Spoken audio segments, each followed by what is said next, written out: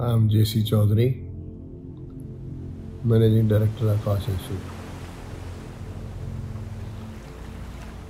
आज एक नए एपिसोड के बारे में आपको बताऊँगा ज़िंदगी किस किस मोड़ से कैसे गुजरती है? ये याददाश्त मेरे जहन में अभी तक भी है। जो बिल्कुल फ्रेश मुझे याद है, जैसे कल की बात हो।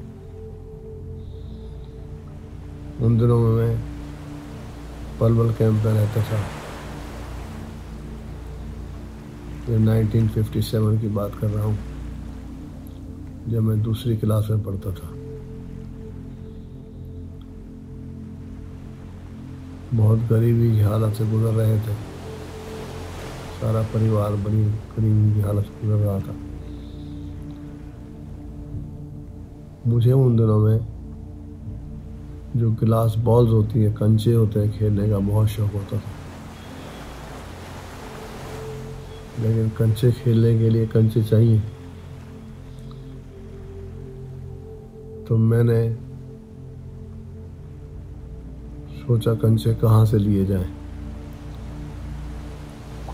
कुछ लड़कों से उधार मांगने की कोशिश की, कंचे दे दो। मैं जीत के आपको वापस लौटा दूँगा। लेकिन किसी दोस्त से नहीं दिए। अल्टीमेटली मैं घर के अंदर गया और जहाँ मेरी माता जी पैसे रखती थी संभाल के, वहाँ से मैंने एक टका,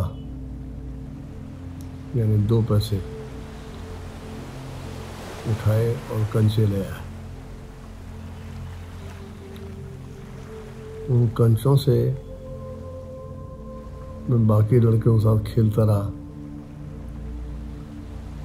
क्योंकि मेरा निशाना बहुत तेज था। तो फटाफट मैं जीतता चला गया। और एक दो घंटे के अंदर ही मेरे पास कंचे बहुत इकट्ठे हुए और मेरी जेब भर गई। खुशी के मारे मैं घर गया। और जेब को ज़ोर से हिलाया और मम्मी को दिखाया, देखो मेरे पास कितने कंचे मैंने बहुत सारे कंचे जीते एकदम उन्होंने कहा कि कंचे खेलने के लिए पैसे कहाँ से लाया। मैंने कहा, मेरे पास किसी दोस्त ने दिए। कहते कौन सा दोस्त है? बुलाओ उसको। आप कोई हो तो बुलाओ। तो बोला, सच बता कंचे के लिए कहाँ थे पैसे लिए? फिर उसने अपने पैसे गिने। देखा तो उसमें एक टका कम था। गरीबी इतनी थी, उसके पास गिने चुने एक आना, दो आना, तीन आने पैसे रहते थे। अगर उसमें एक टका भी चला जाए तो पता लग जाता कोई पैसा गायब हो गया है। तो उन्होंने कहा, ये टका जो इसमें गायब है दो पैसे गायब है, ये तूने चुराए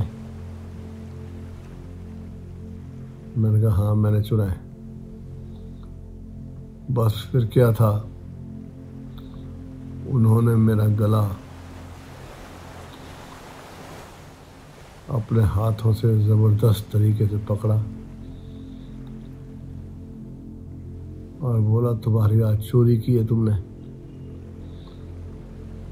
चोर बनना है लाइफ में। और मेरा गला ऐसा दब गया कि मेरी सिस्टर और मेरे ब्रदर वहीं खड़े थे। वो मेरे से बड़े थे। चौथी, पांचवी पढ़ते थे। उन्होंने कहा, मम्मा, ये मर जाएगा। छोड़ दो इसको। बोले, मर जाने दो इसको। ऐसे औलाद जो चोरी करते हुए मर जाए। अच्छा।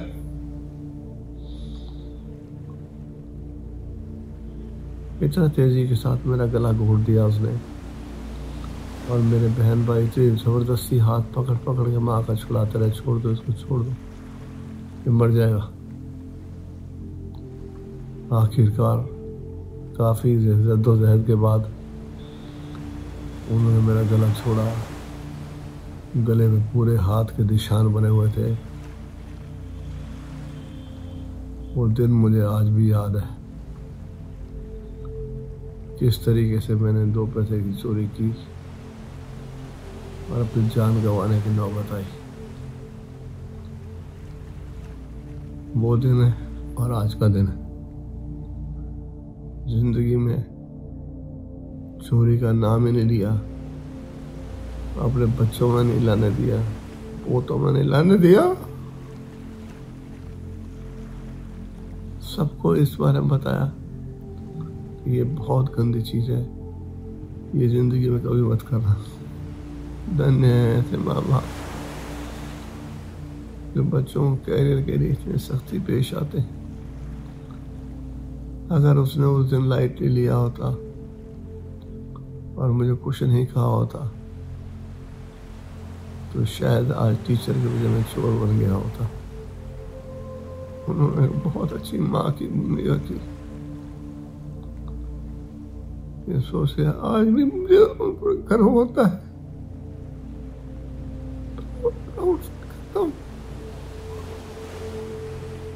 मेरी माँ कितनी अच्छी थी। कितनी अच्छी शिक्षा दे गई।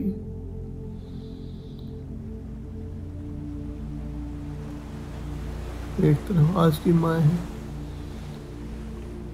अगर बच्चा कुछ कहे गलत करके आ जाए। तो उसको एनकरेज करते और अगर हस्बैंड डांटना शुरू करे, बच्चे को तो हस्बैंड को डांटना शुरू कर देती है। जरा सी बात डांट रहे बात जरा से नहीं होती।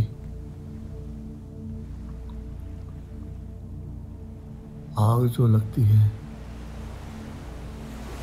उसके लिए चिंगारी चाहिए तो नहीं चाहिए। अगर उस चिंगारी को उछल से कुचल दिया जाए, बुझा दिया जाए तो आग लगने की नौबत कभी नहीं आएगी। मैं फख्र महसूस करता हूँ कि मेरे माँ बाप ने मुझे अच्छी चीज़ सिखाई। जो सारी ज़िंदगी मेरे काम आई। आज मैं वो याद करता हूँ। हाँ आँसू बहने लगते हैं। क्यों मम्मी आज के लिए इतना ही काफ़ी है। व्यवहार किसी नए एपिसोड के साथ आपसे मुलाकात करें थैंक यू